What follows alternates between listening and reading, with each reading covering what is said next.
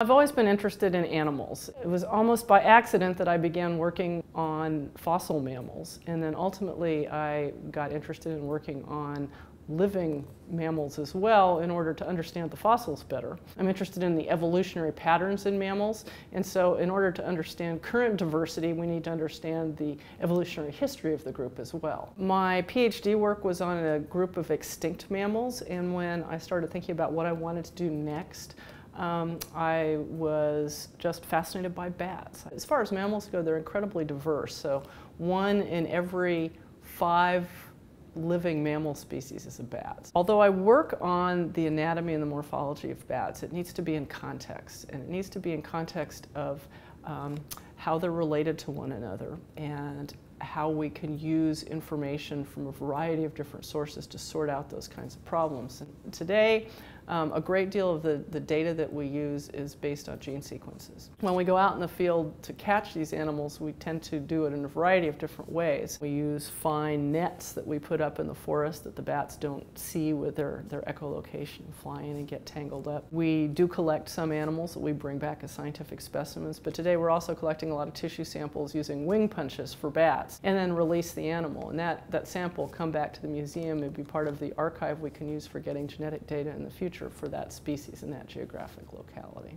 When I started working on bats in the field, I'd never really done it before. So I went into the field with a group here from the American Museum um, in French Guiana. One night I felt, well, I can really do this all by myself. I had six nets up in this forest, a couple kilometers from our camp, and so it's middle of the night and it's dark, and we wear headlamps so that we can see what we're doing and a fruit-eating bat flew into one of the nets. These are pretty good-sized bats, so the wingspan is maybe about a foot across or so. So it's all tangled up, and I go to start taking it out, and it starts screaming. It's going eek, eek, eek, eek, eek, which is what they do when they're upset, because obviously it's frightened. So I'm taking this bat out, and then I hear another bat coming in. And basically when they start to call a distress call, it brings the rest of their group in to see what's going on. So another bat hits the net, and then it starts squeaking. And then more and more bats, and, and and, I had basically an entire social group. I had like, I don't know, by the time I was done, maybe 20 of these things. And every second that goes by, they get more tangled up and more tangled up, and it gets harder to get them out. So I, I had a, a very rough evening of, you know, about